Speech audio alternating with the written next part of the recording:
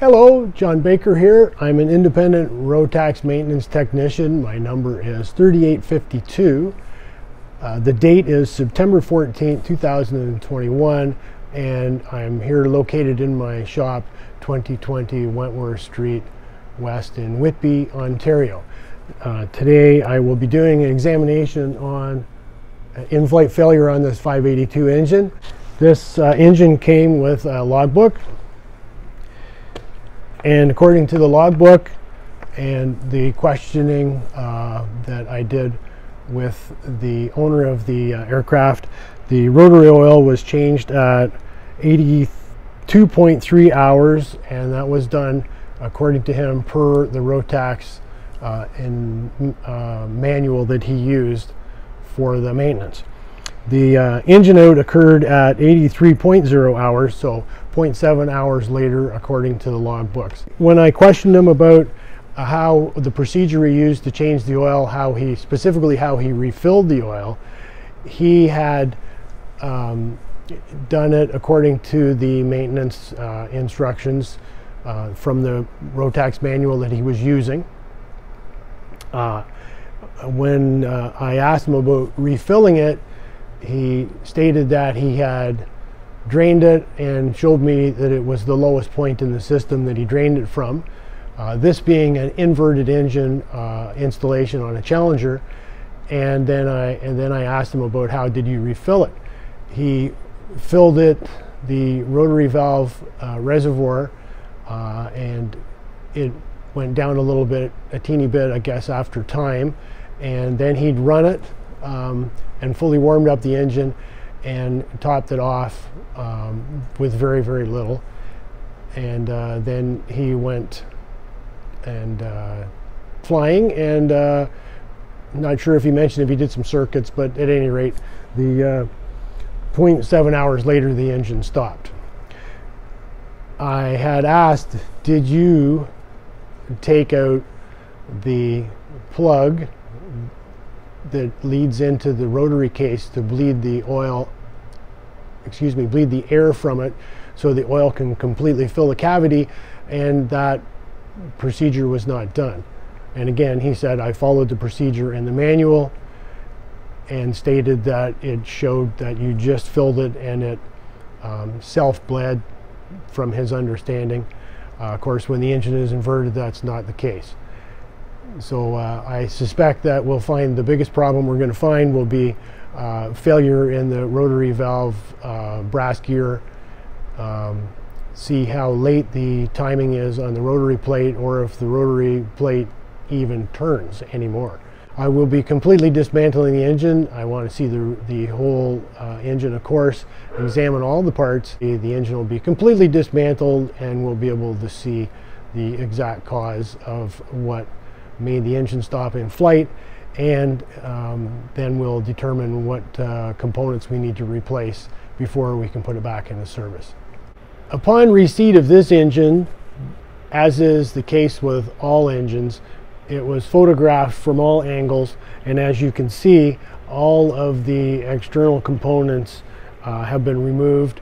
Uh, nothing extraordinary was found with any of those components whatsoever. And because we suspect a rotary issue, let's go right away first off and check out the rotary valve. Is the timing late or does it turn at all? I have marked it with the marker so we can see it easier on the camera. And let's rotate the uh, crankshaft and we see no movement whatsoever.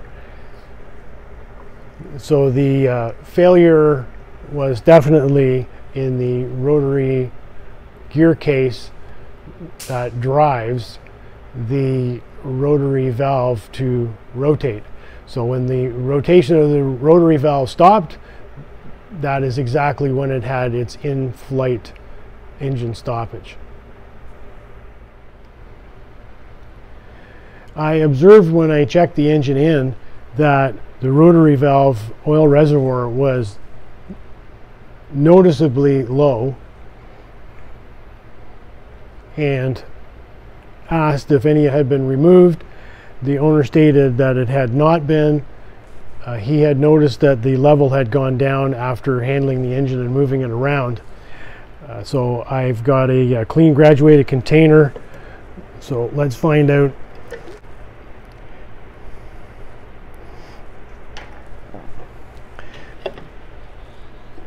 and very little has come out of the reservoir. Very little is uh, is escaping at this point in time. So I would say that the amount of oil that we have removed is how much it was filled from unless it started to degrade the seals beside the uh, brass gear from particulate during that time and it started to actually ingest it into either cylinder.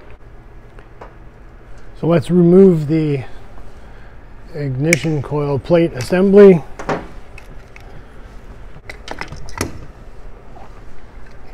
It is just in a spot where it's probably bald on teeth. So there's some resistance there and there. So it likely has, well, at least one or a lot more teeth that are probably not engaging at all. I'm going to lift the plate off and the plate does not want to lift off so I'm going to leave it and take the plate off um, after I split the case. The combustion chamber looks quite nice actually. Let's visually examine the cylinders to see if there's any scoring or seizure present. This is the PTO exhaust side. It looks absolutely perfectly normal. The exhaust side of the mag end, again, perfectly normal, what I would expect to see. Let's turn the engine, rotate the engine, and uh, now we have on this side is now the PTO side, uh, intake side looks perfectly normal. Uh, mag side over here, uh, intake side looks perfectly normal. The uh, flame travel carbon patterns on top of the pistons is uh, consistent with the history of a good running engine. So upon visual examination of the pistons, this is the PTO piston. It looks quite normal. This will be the uh, mag piston. It looks quite normal. And there's perhaps some very light striations not sure if they'll show up on the camera or not.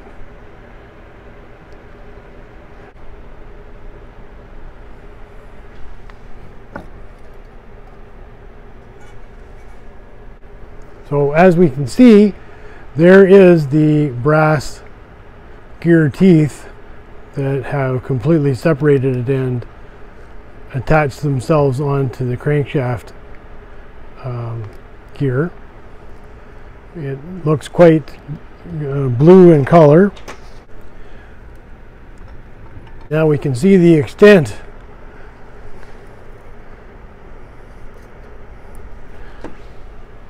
So very little remnants of the uh, teeth left. As you can see by the serviceable gear that I have placed beside, just for comparison to see how much has actually gone off of that, it is just literally melted due to lack of uh, lubrication. In examining the official Rotax line maintenance manual, which I believe is the manual that the owner of this aircraft referred to for his procedure on how to change the rotary valve oil, this is uh, the latest version that I have and the instruction is renewing of the rotary valve lubrication oil. It says to change the oil, the following steps are necessary. Uh, drain the oil completely. For complete emptying, the engine must be inclined.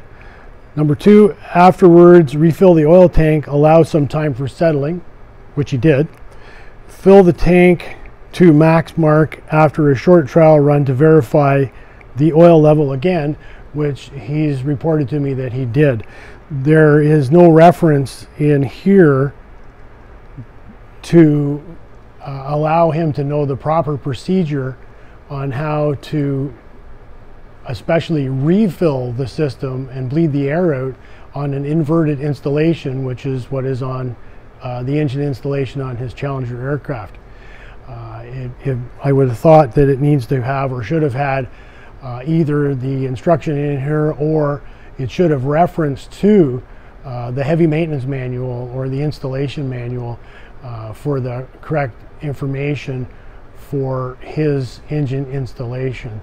So uh, although he uh, followed the, uh, the Rotax, official Rotax document, this, is, this is what happened because it was the procedure for the engine in the upright position where the spark plugs face straight up.